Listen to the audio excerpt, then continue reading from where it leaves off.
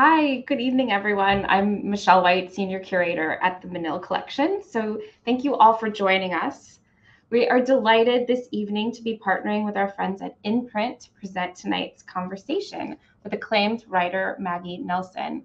Maggie's book, On Freedom Four Songs of Care and Constraint, was released by Graywolf Press earlier this fall, and we're beyond thrilled. She's agreed to be in conversation with us. She'll be reading a selection from the book for about 10 to 15 minutes. And afterwards, she will join me for a conversation. I'm also excited to uh, have a conversation with her about our current exhibition on the work of the French American artist Niki Phalle that's currently on view at the Menil. Maggie will be able to take a few questions before our program wraps up this evening. So please, if you're live, send in your questions as we're moving through the talk. You can send them to programs at menil.org. Um, and so now I'd like to turn it over to our partner for this program, Rich Levy, the Executive Director of InPrint, who will make the introduction. Thank you, Michelle. What a pleasure and an honor to introduce Maggie Nelson tonight with her new book on freedom four songs of care and constraint. We at InPrint are delighted to collaborate with Michelle and Lauren and Tony and all of our friends at the Menil Collection on this event in connection with the Menil's wonderful Niki de Saint Phalle exhibition and are grateful to Maggie and the folks at Graywolf Press for publisher for making this possible. I'll just give a brief shameless plug for InPrint. We are a literary arts organization. Our website is inprinthouston.org. If you enjoyed tonight's program, we invite you to join us this spring for live stream events featuring some of the world's great writers, including Honorée Fanonne Jeffers, Tiffany Yanique, Olga Tokarczuk, live from Poland with her translator, Jennifer Croft, Yusef Komunyakaa, Carl Phillips, Hernan Diaz, Alejandro Zambra, all part of our 41st season of the InPrint Margaret Root Brown reading series, and much more for writers and readers of all ages and backgrounds, inprinthouston.org. It is very exciting to encounter a new book by Maggie Nelson, her 10th, and I am thrilled about On Freedom. In its four sections, Nelson takes on the complexities of the cultural, intellectual, visceral aspects of four distinct realms art, sex, drugs, and climate change. For me, Mira Sharma in the Washington Post perfectly describes the experience of reading on freedom. She calls it a book that asks us to boldly and generously enter the minefield, to pick up what we find useful, to be pushed and provoked, to polish and discard and reinvent, and then to decide alone and ideally in communion where to go next. Clearly, as Sharma indicates, this is a complicated world. And for Nelson, a true and meaningful engagement with experience requires letting go of all, or at least most, preconceptions. as Ismail Muhammad writes in the New York Times Magazine, Nelson thrives in the intellectually murky spaces that politics wants to simplify.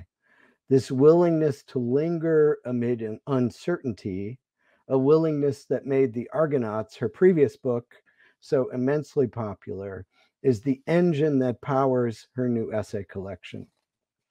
Later in the same article, Muhammad continues if On Freedom can be boiled down to an exhortation an exercise that Nelson would surely be wary of.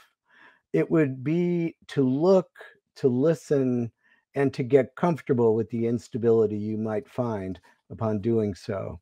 Over and over again in her work and in this book, I'm grateful for Nelson's refusal to simplify or reduce difficult matters. For example, when she writes in Art Song, the first section of On Freedom, it seems to me crucial, even ethically crucial, to treat with caution any rhetoric that purports to have all ethical goodness on its side. Well, I just want to hug her. This is a book that you will want to read with pencil in hand so that you can underline your many favorite passages and read them later to partners, friends, colleagues, neighbors, etc. Nelson's other works include The Argonauts, a memoir for which she received the National Book Critics Circle Award in Criticism, Bluets, an arrangement of 240 prose poems that form a meditation on the color blue, lost love, grief, and solitude, and the art of cruelty, for which of which, excuse me, on freedom is a kind of sequel, plus three volumes of poetry and more, which, as you might expect, resists simple description. Among her many honors, she has received a fellowship from the MacArthur Foundation in 2016, and she is currently a professor of English at University of Southern California. Please welcome a writer whom Laura Feigel in The Guardian calls one of our most radical and forward-looking thinkers, Maggie Nelson.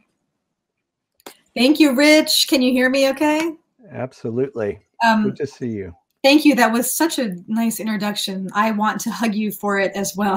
So, next time, next time. Next, I virtually do so, and that was just really nice. I really appreciate it, and um, um, thank you also to Michelle, who with whom I'll talk shortly, and to anyone here. Um, I have a cold, which is not COVID, but I just want to say that I the cold is uh, it's uh, characterized by sudden abrupt coughing fits or sneezing, and I'm, I'm so that might happen. And if it does, I just want you to know that it's okay, but you have to wait.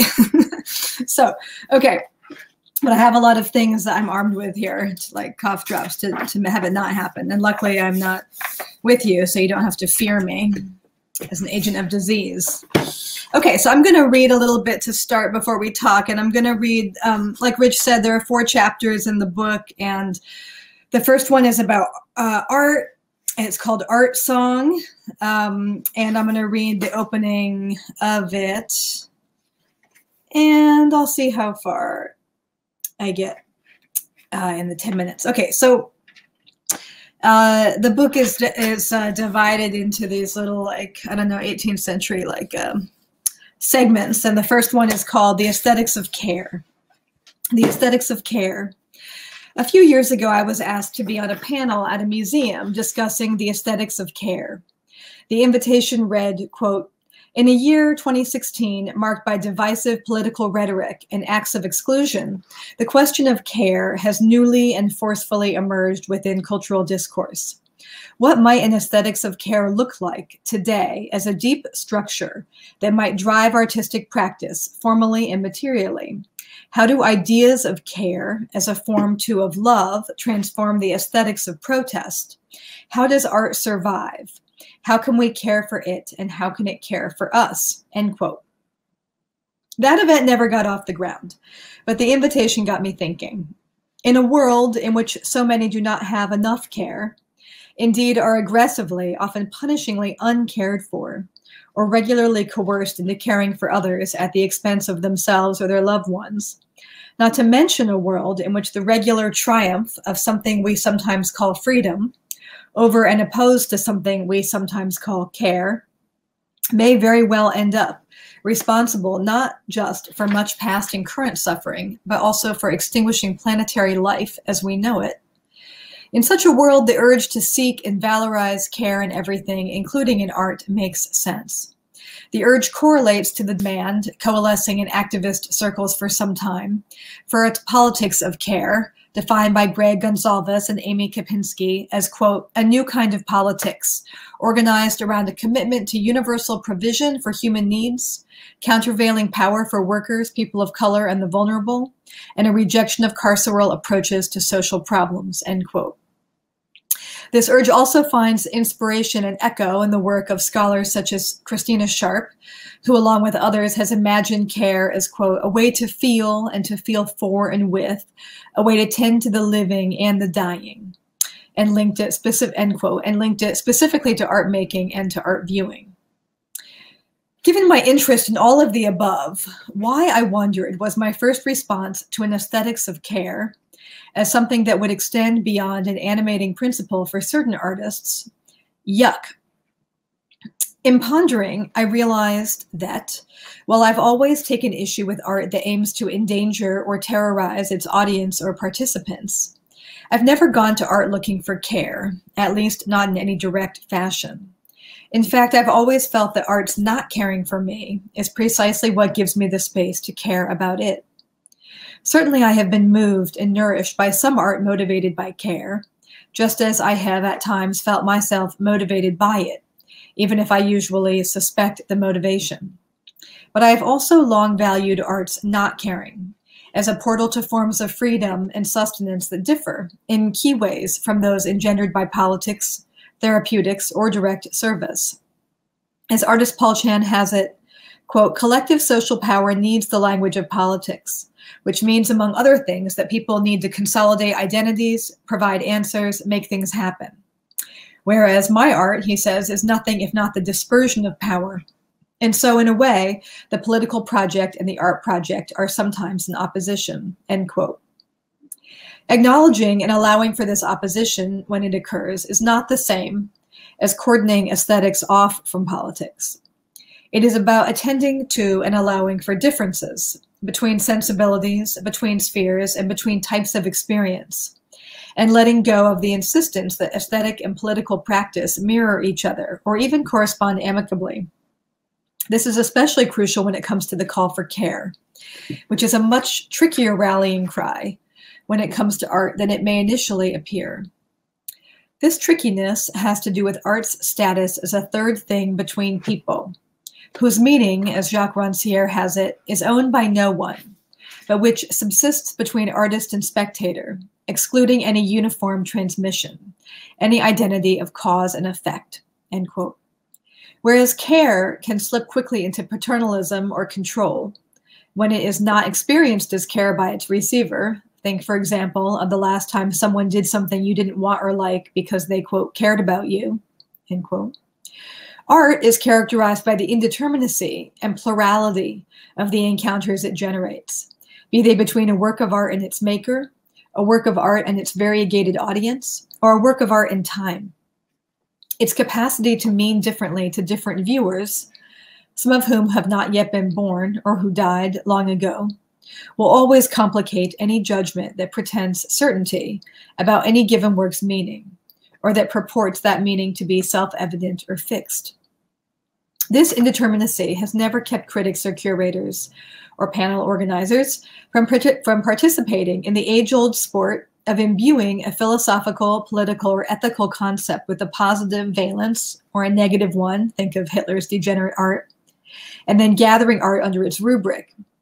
Progressive and conservative critics alike, for lack of better terms, play this game, insofar as both often embrace the premise that art has a moral function, such as showing us how to live, or encouraging connection, or underscoring another value, such as care, community, beauty, honor, subversion, sociality, wildness, and so on. In literary circles, philosopher Martha Nussbaum has become well known for the reading novels make us, makes us better people argument. They have to be the right novels, of course. Master of Relations Henry James gets a thumbs up. Solipsistic Samuel Beckett, a thumbs down. Many critics have run poetry through a similar sieve, as when Juliana Spahr argues in Everybody's Autonomy that, quote, when we tackle literary criticism's central question of what sort of selves literary works create, we should value works that encourage connection, end quote. But how can one sort out which works encourage connection and which works do not? When the one thing all art does, even Beckett's, is transmit a signal put forth a communication, which is by no means ontologically invalidated as a transmission if it expresses misanthropic, opaque, or antisocial elements. Such underlying moralism may be one reason why abstract theorizing about art can take a bit of an embarrassing turn when it runs into actual works of art or artists, who often prefer that the field of play remain less codified or sanitized. Here, for example, is painter Amy Sillman recounting a talk she attended by Franco Berardi. This is Sillman. I recently heard Bifo Berardi give a talk about not working, something that doesn't make a lot of sense if you actually like working in your studio. Finally, he made a distinction between work and art. saying that to make art is to make something beautiful, meaningful, erotic, empathetic.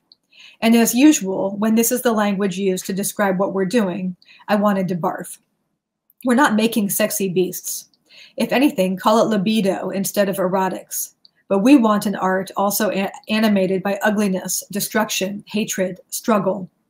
Punk seems as close as one can get to describe it, but what could be less punk than staying up late in the studio, trying hard to make a better oil painting? It's so earnest, so caring with our smock, our tongue between our teeth, paintbrush poised, trying so hard, like the artists in a Jerry Lewis movie.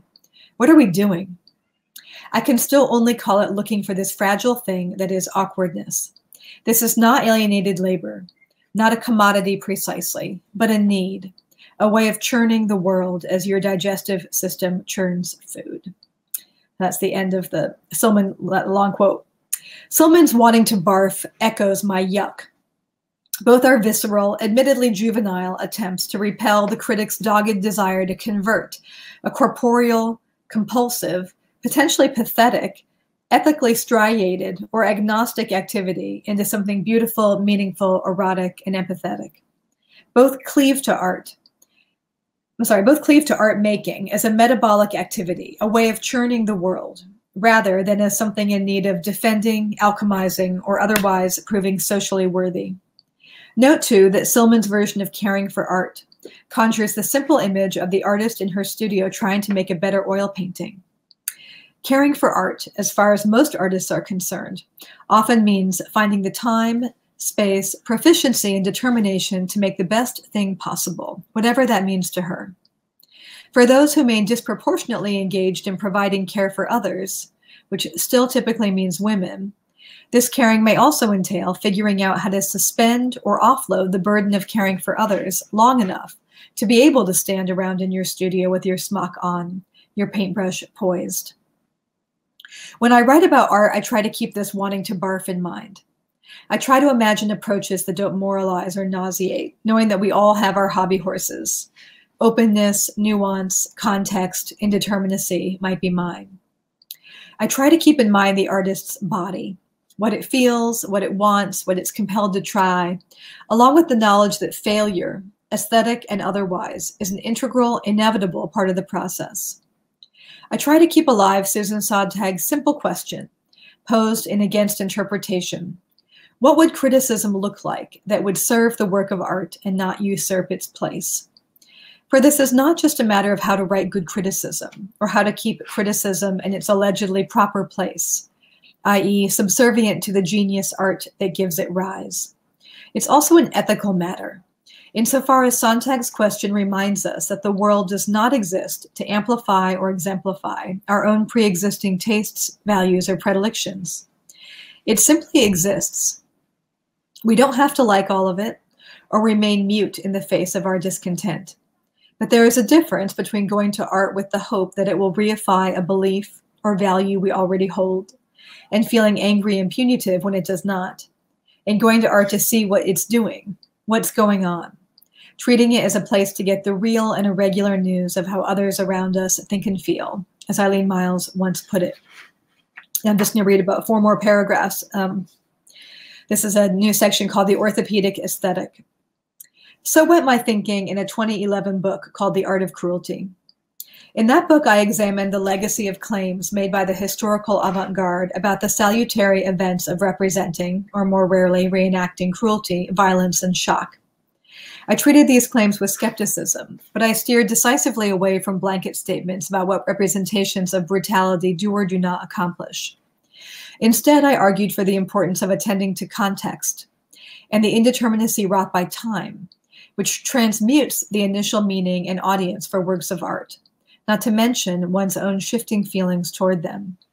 I tried to dramatize this argument via narrating my own expeditions into turbulent areas of 20th century art, hoping to model a certain openness and curiosity throughout, along with the happy freedom of knowing I could turn away whenever I saw fit, a condition provided by art more than by life as Sontag reminds us about the latter in regarding the pain of others.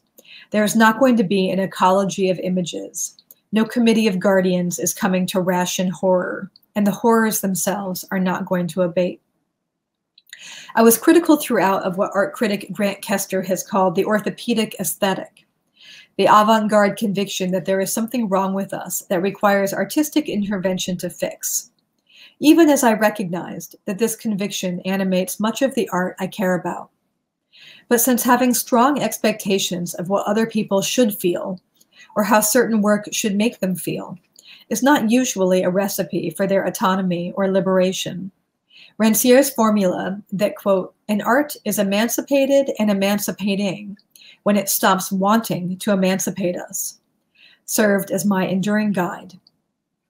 Now, that book was published just a decade ago, but its arguments would seemingly merit an update. Now that the 20th century debates over the merits of shocking the bourgeoisie have largely been displaced by a discourse about how and when certain transgressions in art should be called out or held accountable with the twist that the now so-called left is often cast, rightly or wrongly, in the repressive, punitive position, with the right-wing morality police appearing newly, if hypocritically, selectively, even sadistically, enthralled by disinhibition, lawlessness, debauchery, and quote, freedom and fun, which is what the ex-lawyer for the neo-fascist group, the Proud Boys, said the group stands for quote, love of country, small government, freedom, and fun. Or think of self proclaimed dangerous faggot, now ex gay, uh, Milo Yap- Yap- Yiannopoulos, who described himself as, quote, an artist who's going to create provocative, dangerous things to counter the oppressive, corporatized fucking boredom of the mainstream progressive left pride movement with the fun, mischievous, dissident magic that made the gay community so fantastic in the first place. Now, this reversal may sound strange, but it is not, in fact, novel.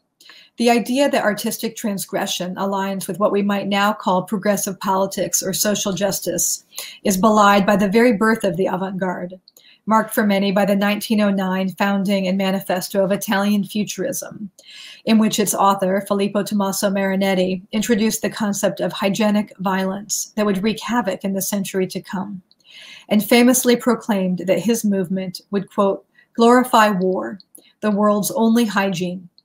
Militarism, patriotism, the destructive gesture of freedom bringers, beautiful ideas worth dying for, and scorn for woman. End quote. Not but a decade later, Italian Futurism, which pioneered the many poetic and typographical innovations now known as Parole and Libertà, or Words and Liberty, along with a host of other radical aesthetic activities that presaged performance art and punk rock, officially merged, the Italian Futurism in a decade, officially merged with Mussolini's National Fascist Party. And so, at a time when bigots and thugs deploy free speech as a disingenuous, weaponized rallying cry, it makes sense that some would respond by criticizing, refusing, or vilifying the discourse of freedom and postulating care in its place. But care demands our scrutiny as well as do the consequences of placing the two terms in opposition. For beyond today's tinny stereotypes of bully and snowflake, target and troll, defender and supporter, perpetrator and victim, lie dimensions and archives of artistic freedom of critical importance for all makers and viewers. Attending to these freedoms while engaging the grave issues that have necessitated their interrogation has become our charge. And now I will stop reading and Michelle and I will get to talk. Thank you so much, Maggie. And thanks for joining us in Houston. First I wish I were in Houston, but I'm gonna I'm gonna do a sort of shout out here for everyone in the audience to please send in questions to programs at menil.org. So and I'll I'll, I'll be pulling as we're talking to. Um, they come up on my my screen, but I just thank you. I, I, you know, I've been reading your book the last few days. Um, and it's absolutely sweeping. And as you know, Rich mentioned how you move through drug and art and sex and environmental catastrophe is truly astounding. And I, you know, I have to say, like, I was in constant awe as I was was reading it because you also have this remarkable ability to very pull from these very you know theoretical if not esoteric terrains. And you, you, sort of pull them down into our space as a reader. Um, and and for me that really felt like an act of care itself like Mhm. how you were thinking ab- about the reader how you were making this accessible. Because i also then thought a lot about your process in terms of what you were just saying that you like you know this like idea of art not caring what you think this sort of resistance to not having meaning. And I- think like in doing this in your approach to writing, it, it gave me space, I think, to like kind of grapple with the sort of complexity of of your your notions of freedom. And and so I, I want to thank you for that. And it, it almost sort of mirrored your your whole sort of uh, theory and approach. And it just led me thinking as my first question, as you're sort of thinking about art's reception and audience, how in writing this book were you thinking about the audience? Who is your audience? Who are you writing for? And how like how like what was your strategy and like kind of promoting in the writing itself like what Rich was calling this kind of intellectual murkiness? Mhm.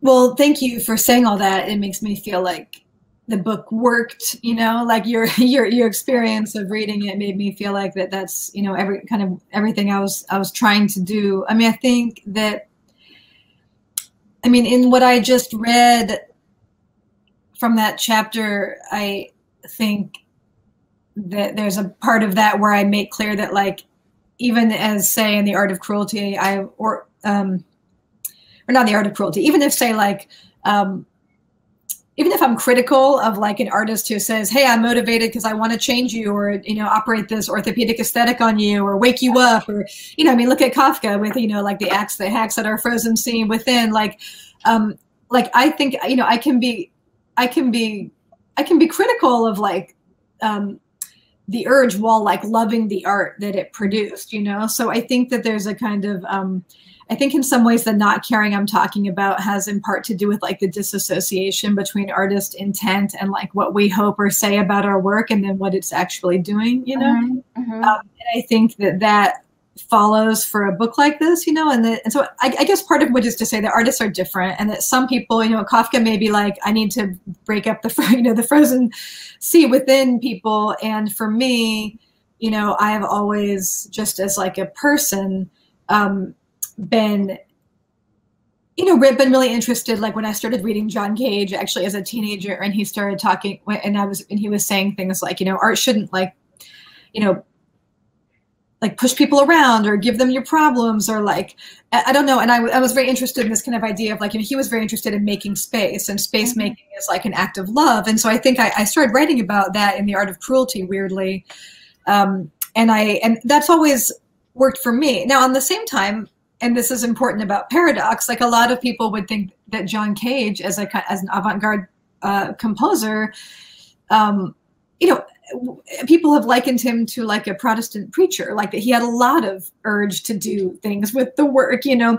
So i don't think it's ever like quite simple. But i think for myself i don't try and think about audience.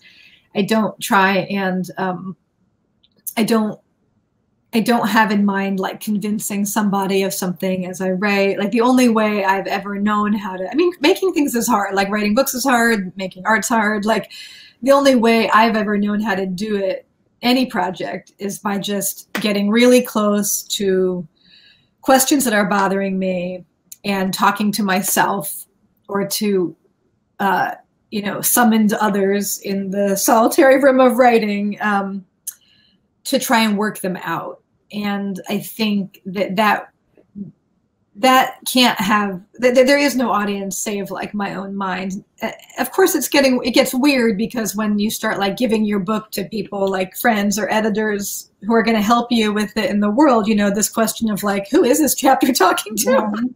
starts to come out. And of course, when you begin imagining audiences, that's when you begin imagining like, oh, who who would love this and who would hate this and who would say this about this. And you know, I, I don't I don't I don't think that's very useful. So I, I still kind of try and keep it at bay. Um, I'm answering your question in a really long way. I guess the last thing I'll say is that like um, is that I I think that books like Eileen Miles, who I just quoted, who was like important to me when I was coming up. Eileen always talked about like prognosticating an audience, like making an audience by talking in a way like in their case they were talking about kind of putting lesbian content in places where it wasn't and kind of like summoning the lesbians you know like that and and and then maybe making them a new kind of lesbian or something that could hear themselves like um, answered in uh, who would answer this call and i think with my books i've thought kind of something of the same like i don't presume a kind of base level of education or non-education or esoterica or anything i just think well I'll write it, and the people who are interested in this, you know, they'll they'll come they'll come to the call, you know, or they won't, and that's fine either way, you know. Well, I mean, well, I mean brilliant, brilliant. Because I, I feel like I'm getting feedback on my mic, Ben.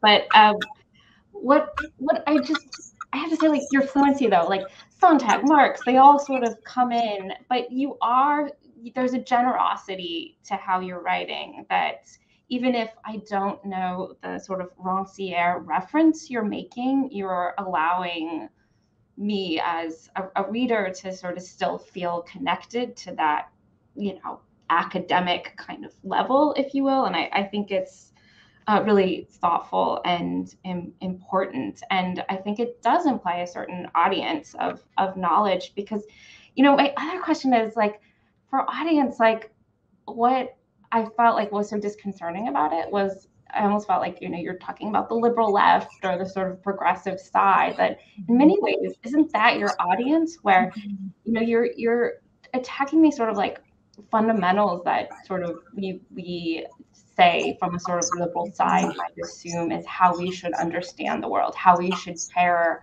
about art in a particular way, but it, it, very much feels to me that you are addressing a particular mm-hmm. side in the right mm-hmm. way in a really kind of unnerving, brilliant, brilliant way. I mean, I think one thing in what you're saying that uh, makes sense to me is that, um, I mean, this came up a lot with the Argonauts, where like I you know that book like had a lot more readers than i imagined. Like there were a lot more eyes on it like not queer eyes kind of than like i imagined on it. And like i think that was an interesting experience because i feel like uh, it wasn't a book i thought about people's eyes on it like some of the eyes that eventually got on it you know? Mm-hmm. um, and but i'm glad that i didn't i'm glad that i didn't write it like with a different like headspace you know? I think that in this book like you're saying um,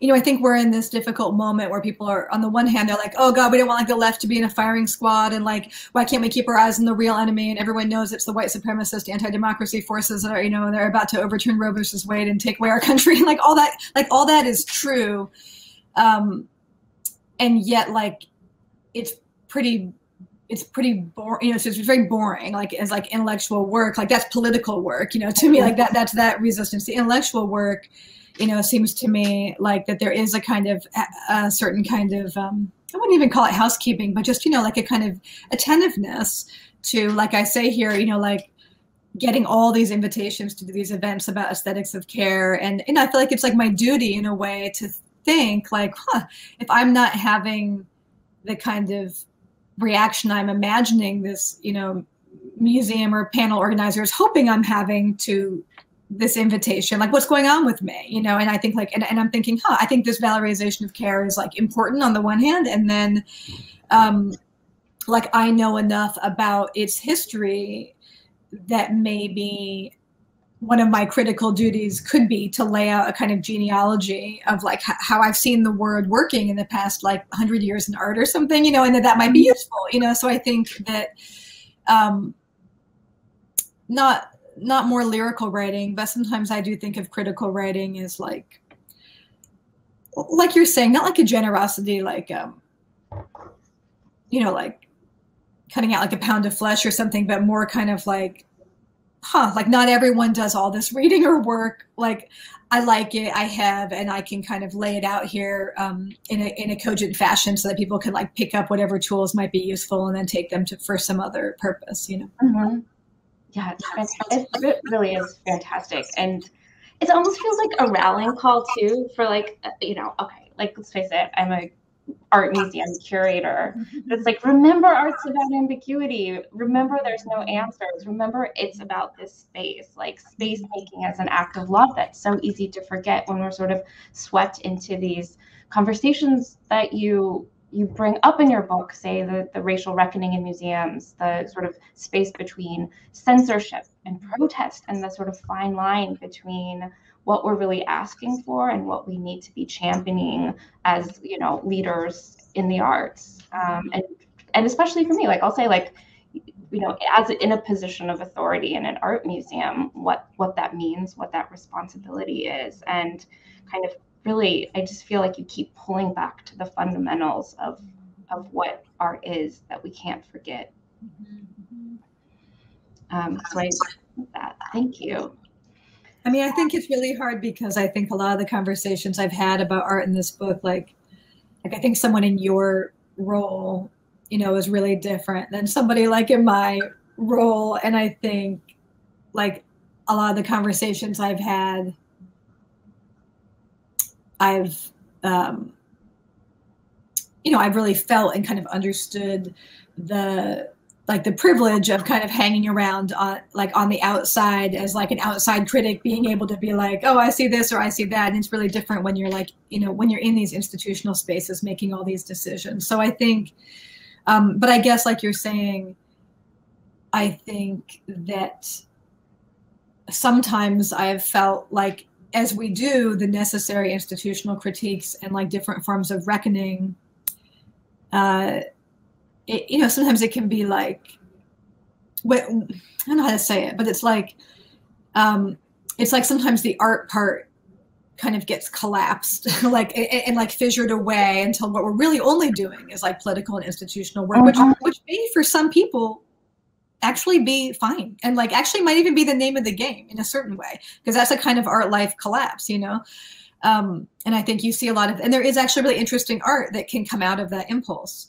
um, but there's other art that that that relies as a kind of the paul chan quote on on on acting in a different system in which case the institution it seems to me like it's uh, has a difficult path where it's trying to both um, it has like uh, it has two or more very different types of activity that it's trying to balance at the same time. Mm-hmm. Yeah, I mean, but that we should just sort of pull out from not just your chapter on art, but but how you kind of apply this throughout. And I also kept thinking about you bring up against interpretation and Susan Sontag, and I always like whenever I'm working with a young writer, you know, how it is what it is, not what it means, is like mm-hmm. such a like sort of rallying cry for me. And yeah. And it seems like that's really kind of the basis of this because then you can take it to sort of how you're approaching drugs or sex or things that you think you have a particular understanding of or certainty about that you kind of upend by by your questions. Um, yeah, can we talk? Yeah, go ahead. No, you. No. I was just going to say that you know I think that there's like a you know if you teach writing like i do you sit in a lot of workshops and i'm very alive to the fact that like you're trying to help people make something better but the but the phrasing is often kind of always sounds to me like there's a platonic piece of writing in mind that would be like the the the right piece of writing and that we're all kind of like if it you know i'm not really into you know this but if it were more like this then i think it would really be impactful or whatever like these kind of words but you're like mm-hmm. and i'm always like well you know okay so that is fine when you're working on the writing but when the thing is like done and out there then it then it is this thing that it is you know and it's like oh i would have liked it if she'd addressed more of the situation in libya well she did you know i mean she did like mm-hmm. it was her diary from living in morocco so that's what it what that was you know and like and i think that i mean to me i mean i think what you're saying about with all the chapters is that like you know, this book's kind of closet sleeper theme throughout is about, in a kind of spiritual sense, of like the back and forth between like accepting what is, you know, what what what is with all of its difficulties and flaws and suffering, and then,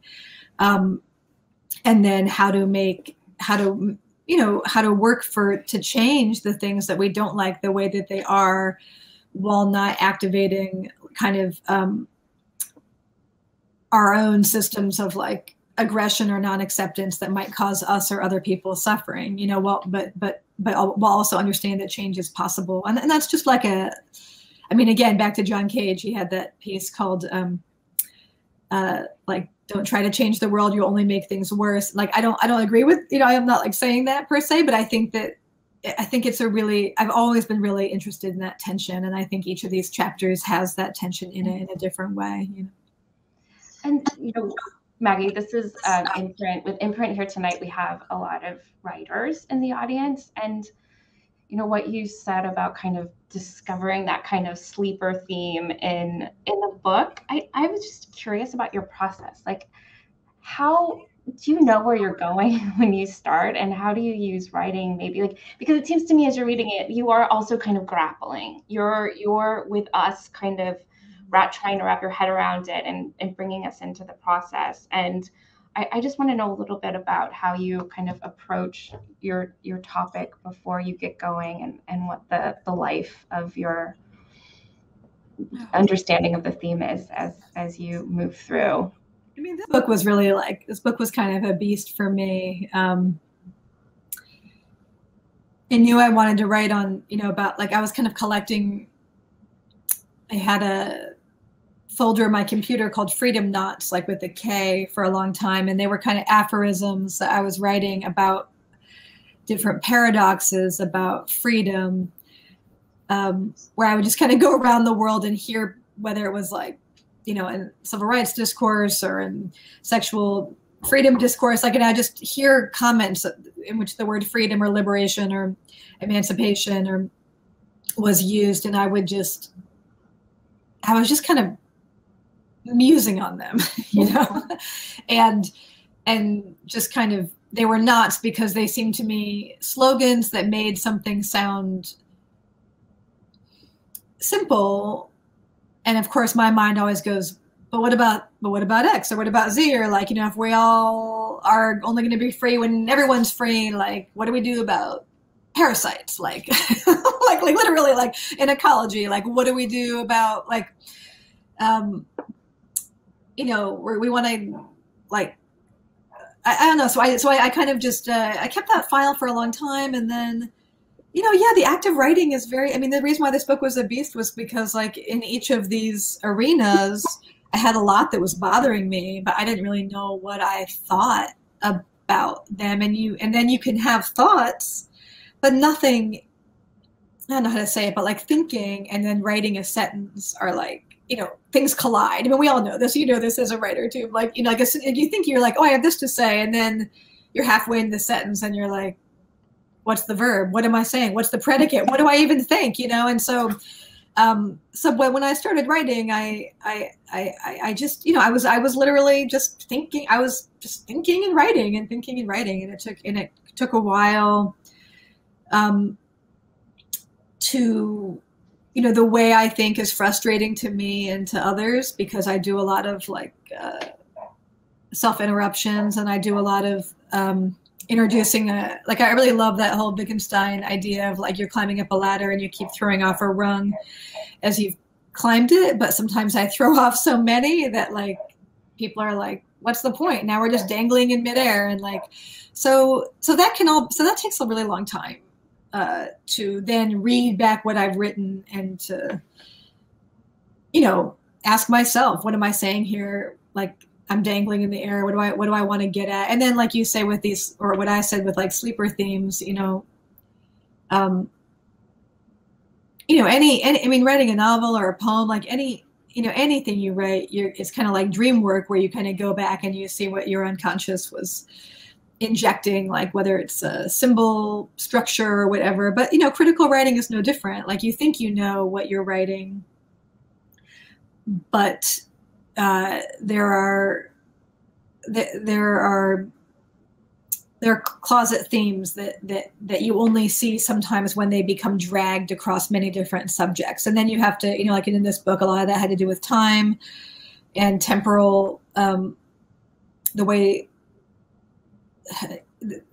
just the way that the past, present, and future interact with our notions of freedom and with grief. And so I had to kind of pull that out. Like I had to pull out um, the commonalities that I found in each chapter and then kind of give uh, right into them a little bit so that the book hopefully they're very distinct chapters, but that hopefully they have a little resonance with each other. So, you know.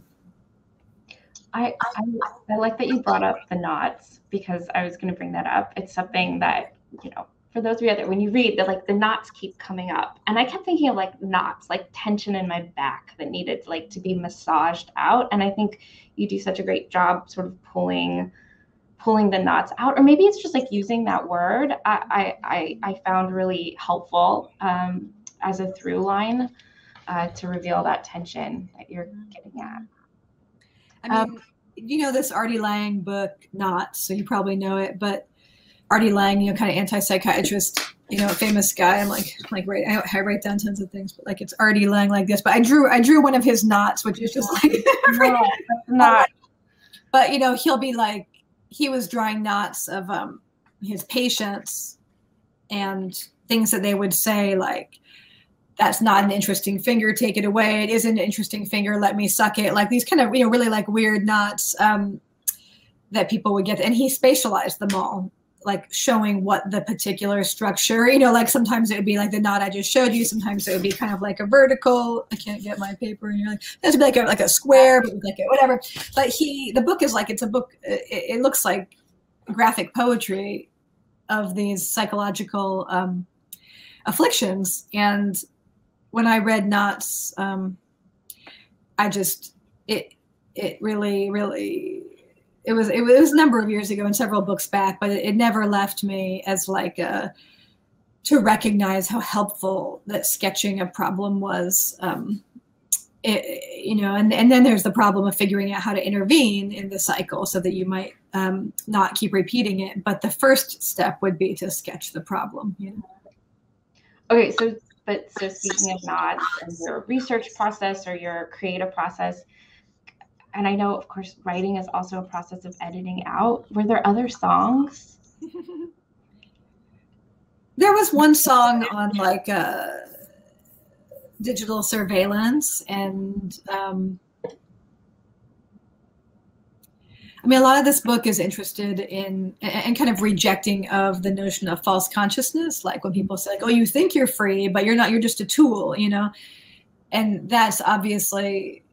Um, a very common kind of refrain with the internet, you know, like, oh, you think you're free when you're like choosing your dumbass emojis or whatever, but really you're just uploading your information yeah. to, you know, these evil tech giants who, you know, eventually want to, I don't know, put you in a, a camp or something. You know, like there's this kind of, so I, I was interested in, as with the drug chapter, other things, I was interested in like, you know, like with anything that has like maybe an addictive structure, like we don't just do it because we're dumb we do it because we're getting something out of it you know so i was kind of curious about writing about that and then but everything started to change so much with um with all that like the discourse around it I mean, you know, everyone knows. I need to tell anybody on this call how it's how it all changed, but I didn't feel like I could really keep up with it. And there were more people like Zeynep Tufekci and Kara Swisher and all kinds of people doing really excellent work on that. And I just didn't feel like I needed to spend probably two years of my life, like the way with like the climate chapter. I probably spent like six months to a year of my life reading climate material that I'd never read. I was like, oh my god, that digital chapter is going to take me another year or two, and I, I wasn't up for it, you know and you do do such a great job in that there's a wonderful afterword where you kind of reflect on the problem of like writing about the sort of urgency of now and what gets left out of that and you're like even the like last week of what's happening with you know legislation about reproductive rights like yeah. the kind of points you bring up they just continue to evolve and have have so much of a, a life out of your your book that yeah. i'm sure it's both invigorating and frustrating well, oh, it's just stupid. Like, I mean, I was like, I don't know if who, no one will ever remember this. Nobody, because it was like at the beginning of the Trump presidency when we like thought maybe there was going to be like a presidency or something like so remember jeff sessions he put uh, like and chris christie he put in charge of like the opioid epidemic and this is why i say no one remembers because what happened there no you know nothing but like you know i had i wrote like i don't know i wrote like 25 pages on the chris christie opioid situation. Like for what? Like not, not it was just like it was so I mean, so there were so many things like that that i was like uh, that, you know and, and that's fine because i like i learned from them. And one of the things i learned from that was that you know nothing was going to happen with with that you know and but anyway i it was um you know this book more than others was hard fighting things happening in the now because so much was going on on these topics. Um, but that said um, you know i mean this is a cliche but like obviously if you're onto writing about anything, especially the issues about freedom and freedom and care that are, you know, centuries old, especially in this country, um, the eruption, say, of a freedom versus care discourse around the pandemic, which came about largely after I'd already finished writing this book, um, I'd already written all about that dichotomy in the book because yeah. it was already in place. And then now this individual freedom versus like care for others and the collective just got like technicolor re-amplified and pumped out. But it was not, it's like, it's not new, you know. It's more depressing to see things that are like you've already been writing about for years and you're like, oh God, here it comes. Like I can script this. I can script this, what the right and left are gonna be, what their slogans are gonna be. Like, please just spare me but you know there's a certain satisfaction in knowing that you've understood it you know well i mean I just also reading this so let's let's take us back we started you know we we're happy to have you because we have this show up right now on the work of Niki de Saint and part of the work on view for those of you who've been able to see the show is that she's she makes in the early 1960s these really strong, powerful representations of the female body that have have certainly been understood with with under this kind of idea of freedom, right? But one coming out of a particular historical context, right? She's kind of like this proto-feminist artist. This is like, you know, early feminist art, um, and um, how it's been understood, Maggie, and I you you probably know this too, is like under this discourse around the sort of the sort of radicalism of joy, right? Mm-hmm. That she's kind of creating these these figures that are kind of doing whatever they want, you know, in sort of in the face of um, you know the patriarchy and these sort of restrictions and the the 1960s. And I just want to say, too, like reading your book about the present and then sort of thinking back 60 years at this particular historical moment that I'm enmeshed in, you, you repeat the line, and I'm sorry because I forgot if the, the theorist, but you, you say that the freedom is the defiant insistence of acting as if no one, as if one is already free. And put it in your chat because you're gonna put it in my chat. Look, I got it wrong. Oh, Just ah, because everybody ah. needs to know. Okay, here we go. All right, David Graeber. Yeah. Where is it? Look, I've done it wrong. Now I don't see it, Maggie. Well, that was in the private chat. Sorry, I thought maybe I could talk to you all. I, I teach, you know, so I'm very used oh, to okay. function with, with with everybody, but I can't apparently contact you all, and I'm sorry for it. Anyway, David, Graeber. David Graeber.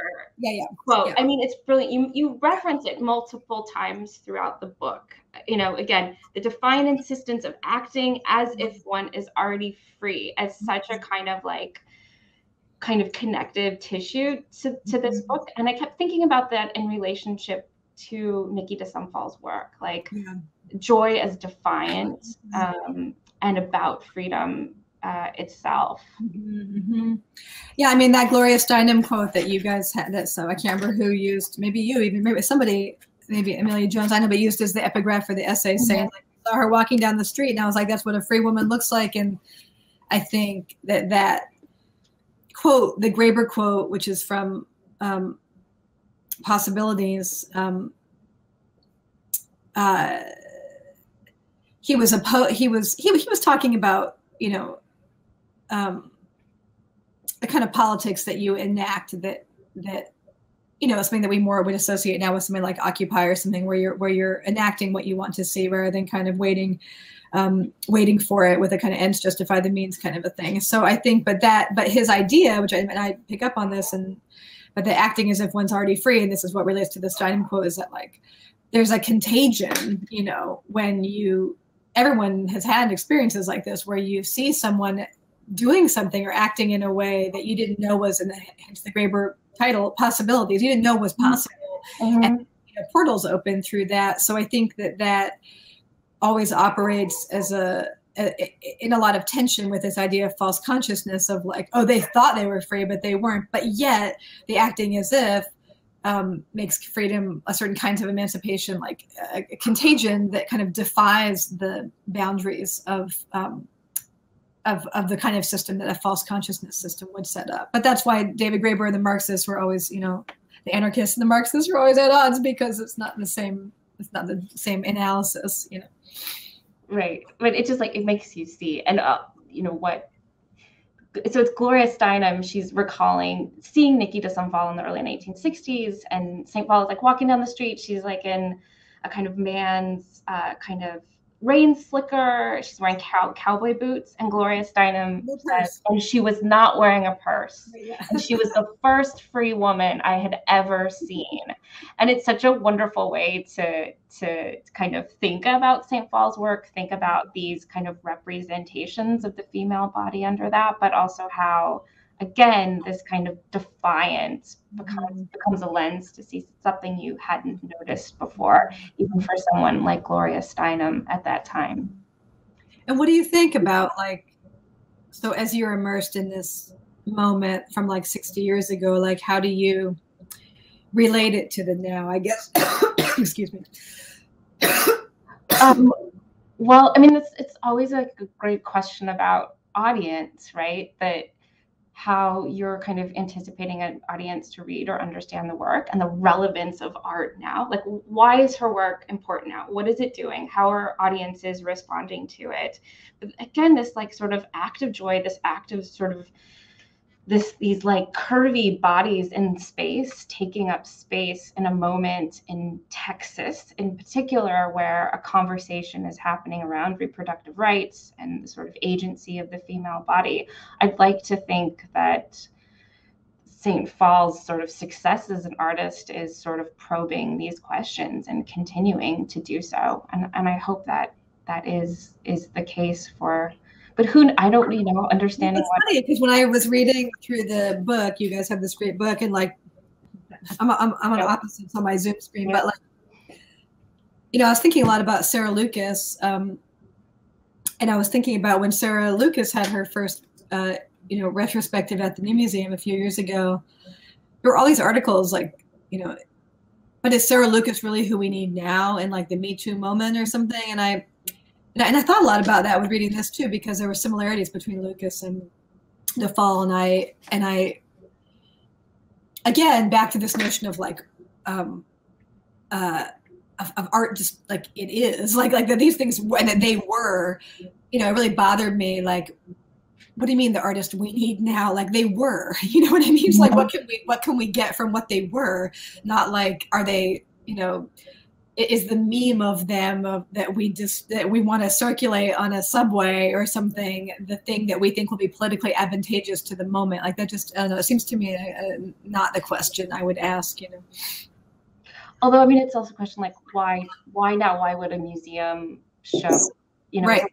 decision that's been made about right. resources and presentations and i mean it's certainly something like I think about a lot. It's like why we did this show now. I mean, we were kind of coming out of the Me Too movement, looking at you know artists that you know were engaged in a particular conversation, and mm-hmm. just provides another way to see historical work and to look back right at that mm-hmm. moment in in feminist art history. Mm-hmm. Um, so it's it's been fun. I mean, it it's bringing up a lot of salient questions, I think, and I hope um, so wait, Maggie, we're, we're going to run out of time and I need to have some audience questions. questions. I know. Um, okay. Um, should I look at them through? Should I look through well, them? that's going to be hard. These are like really amazing questions, everyone. Okay. Let's, I'm just going to read one. Let's go for it, Maggie. Okay. Sorry, I'm lightly going to be coughing here, but I think I. Niki Kasumi Clements, our friend at Rice University. Um, I think a can you see it, Maggie, too? Yeah, yeah, I'll read along with you. I'll read it out loud. I think a lot about care of the self as a construct from Michel Foucault that has theoretical limitations and possibilities at the intersection of political and ethical projects that do not degrade into neoliberal to As you read from your first piece, you seem to suggest forms of aesthetics that are not about dispersion of power, not as antithetical to political projects, but as creating the conditions for acts of resistance and political critique. In this register, I wonder what you might think of Audre Lorde's affirmation in A Burst of Light that, quote, caring for myself is not self indulgence, it's self preservation, and that is an act of political warfare. To bring it to St. Phalle, I love the resonance between your work and Michelle's text on St. Phalle's work as formation through resistance to the gravity of domination and normative logics. Oh, Niki, good question. um, well, maybe this is cheating, but so I stopped reading. I said, like, attending to these freedoms, you know, has become, you know, and attending these other issues has become our charge. But the next paragraph that I didn't read says the current interest in care has multiple roots and vectors, including the crises of care brought by racial capitalism and neoliberalism, feminist debates over ethics of care versus ethics of justice, Foucault's writing on the care of the self, which grew out of his earlier focus on practices of freedom, and an intensified focus on self care and healing as critical components of activism and high profile battles over healthcare. Um, at any rate, I go on and and and kind of go through a bunch of others, but I just wanted to note that only in that we were about to get to that in the next, in the very next paragraph, that both the Foucault and the um, Audre Lorde, because that highlighting of self care and the quote that um, you've put there is the one that's most often um, brought to the fore um, as the kind of um, you know uh, critical um, slogan about how to understand self-care. So I think um, I don't know quite. Let's see, like what the question is, um, but yeah, I don't know. I'm trying. I'm looking to see like. Uh,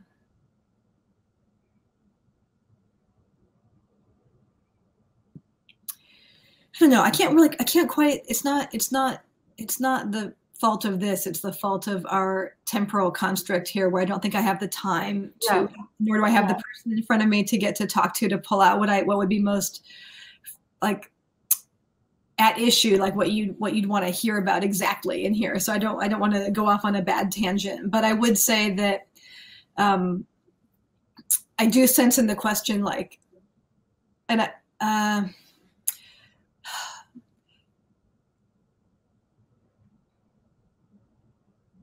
about the art part, I guess I would just say that I think that there is. Um,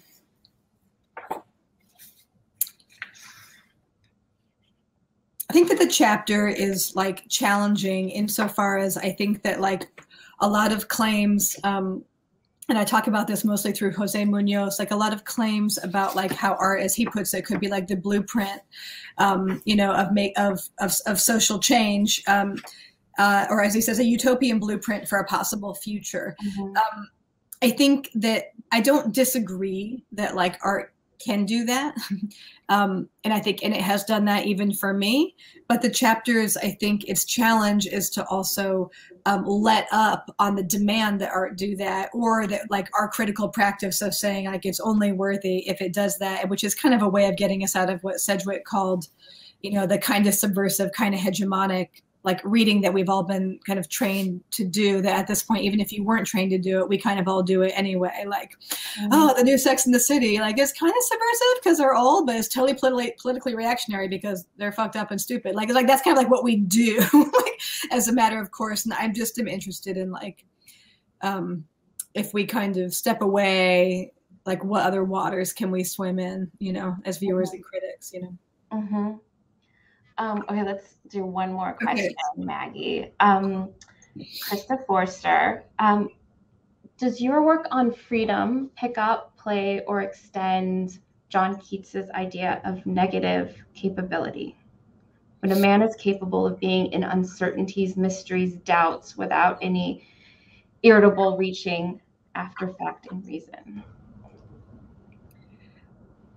Yeah, I mean, I love Keats. I love negative capability. I love all that. I mean, I think what Keats is talking about, um, I mean, he's talking about a lot of things, but I think that in the kind of more poetic um, arena that he's talking about is a little different than I think the kind of uncertainty that like a, a scholarly discursive book like this is it like I don't I do reach after fact and reason you know like in this book so it's not really about um, exactly that. But I will say that something that I do try and do um, and that I think is complicated to try and do but it, but and and that I you know work a lot on with with my students is that like i anytime you read something that especially if you read something that's not what you think or like that's not what you think on the surface like say for the drug chapter i read a lot of things about like libertarian things about drugs like you know radical texts on like legalization like or not even like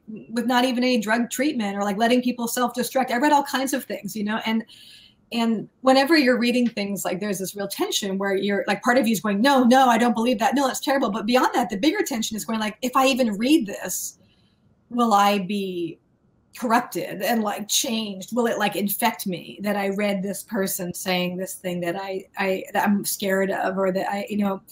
And i i do think a certain kind of negative capability like of like coming to things and kind of reading, just like reading, like like like like not not getting ensconced in the drama of like, am I letting this infect me versus am I protecting myself from it, or or am I fully flooding myself with this? Like like but just just kind of reading it like a suspension you know? Like insofar as that relates to negative capability I, I think i did a lot of that with this book because even like with ecology you know with a lot of like deep ecological stuff you know and you know it can really edge into like a you know anti-human like anti-civ space stuff yeah. where you know and that, that stuff is actually some of the hardest stuff for me to read because i'm really attached to culture mm-hmm. and and i sometimes would like read these texts and be like i don't even want to imagine the earth without us. I don't want to i don't you know and but i but i would do it anyway because i just you know i'd like i, I deem certain things worth trying on you know? So i think that there's mm-hmm. a form of negative capability in that and i think you get better at it